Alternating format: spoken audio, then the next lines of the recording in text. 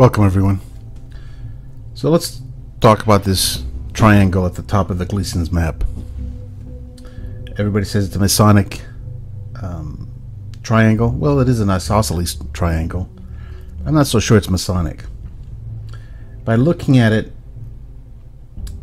if you notice all the three points, the base of the triangle is at a very specific position of the 45 degree south latitude. Now what's interesting is that if you flip it upside down, it points exactly to the North Pole.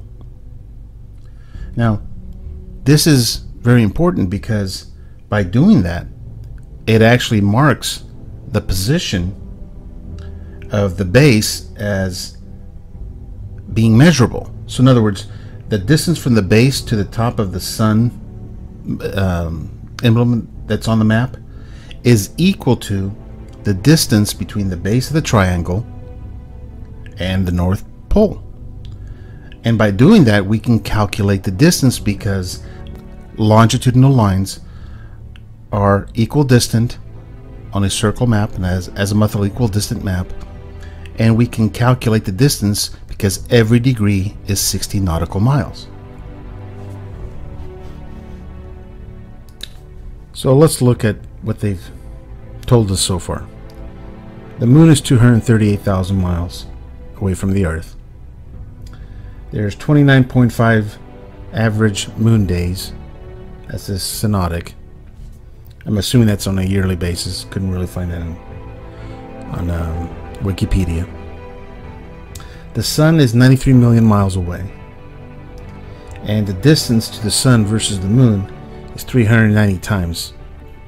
But they always say it's 400 times further away than it is, than the moon is to the earth.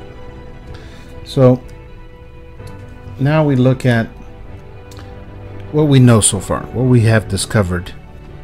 We know from the North Pole to the equator is 90 degrees. We know from the equator to 45 degree south is another 45 degrees. So if we add them up, we have a total of 135 degrees. 135 degrees times 60 nautical miles, because 1 degree is equal to 60 nautical miles, comes out to 8,100 nautical miles. So according to this, the sun at the equator is 8,100 nautical miles, or 9,321 statute miles, up in the sky. So now let's look at a little coincidence. The 8100 miles, if you multiply that by the average moon length, comes out to 238,000 miles. If you take the 238,950 and multiply that by the 390 um, times distance, you also come up with 93 million miles. Interesting. Coincidence? I think not!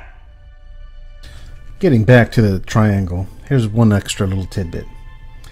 If you rotate the triangle and position the right corner to the North Pole as it states on the corner north, and the left corner is always pointing south, the sun now will point to the black line all the way around the map. And basically, what it does is it tells us that the sun is coming from the east and that it's marking the hours of the earth as the sun rotates. Now, let me ask you something. What does this look like to you?